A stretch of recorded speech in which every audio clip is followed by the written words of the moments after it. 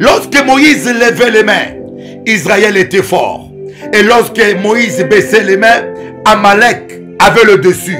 Voyez, nos ennemis, les démons, les puissances des ténèbres de ce monde, parfois arrivent à bloquer les chrétiens, parfois arrivent à bloquer nos vies, non parce qu'ils sont forts, non parce qu'ils sont puissants, mais c'est parce que nous sommes faibles. C'est lorsque nous baissons les mains dans la prière qu'ils arrivent à voir le dessus sur nous.